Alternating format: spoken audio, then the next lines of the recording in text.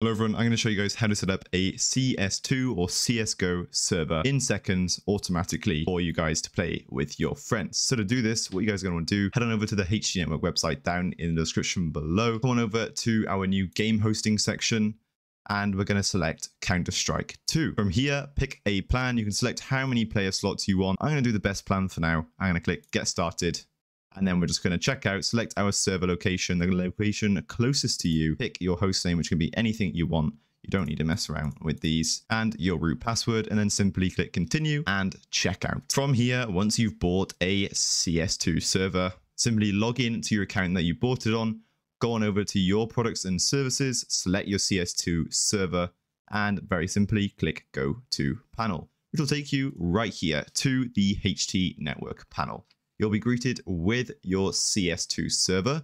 You will have to let it install to begin with, and it can take a little bit of time considering how big Counter-Strike 2 servers are for some reason. And now to connect to it, it's going to be really simple and straightforward. So first things first, we're going to grab our IP and port. So I'm simply going to go into the console right here.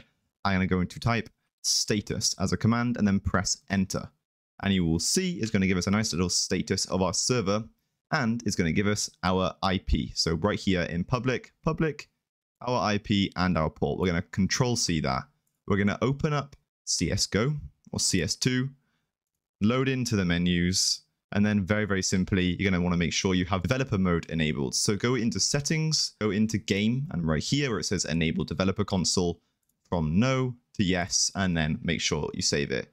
Go back to the home screen and very simply press this button on screen right now. I'll show you what button it is to bring up the developer console.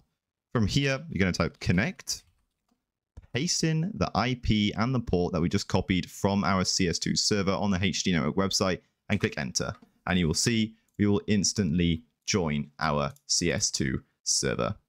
That is how you set up a CS2 server automatically and for really, really cheap that you can now join with your friends and have a nice private game mode. You can check all of this out down in the description below at www.htnetwork.one and I'll put a discount code down in the description below as well to kickstart your guys' CSGO server so you guys can get it a little bit cheaper.